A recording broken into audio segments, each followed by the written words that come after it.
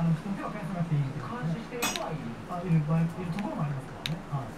さあそしてベルトコンベアー作業ですね先ほどもご覧いただきましたえー、っとですねこれはのちょうど作業を切れて取って拭いていた従業員ですけどもこれも素手ですこういうふうに作業してですね